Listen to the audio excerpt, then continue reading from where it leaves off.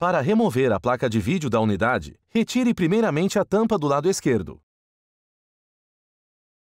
Desconecte o cabo ou cabos de alimentação da placa de vídeo. O cabo de alimentação possui uma trava que precisa ser pressionada para remover o cabo. Se a placa de vídeo é mais comprida, com um suporte triangular de retenção instalado, retire os três parafusos Phillips número 2 que prendem o suporte da placa de vídeo à parede interna do computador. Puxe para fora o suporte da placa de vídeo. Retire os dois parafusos Phillips número 2 que prendem a placa de vídeo ao chassi. Pressione para baixo a trava que prende a placa de vídeo à placa-mãe.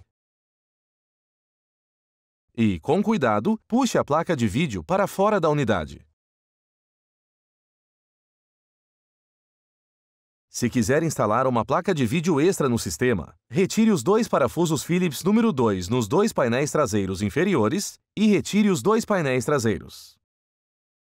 Guarde os parafusos para prender a placa de vídeo extra à unidade. Para substituir uma placa de vídeo no computador, pressione a ponta do cabo da placa de vídeo no soquete da placa-mãe até que a trava de retenção se encaixe no lugar.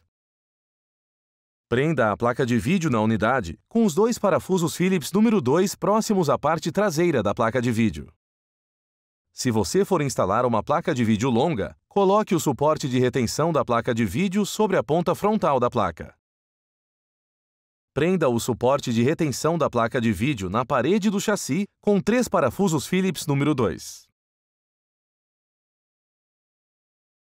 Substitua o cabo ou cabos de alimentação da placa de vídeo.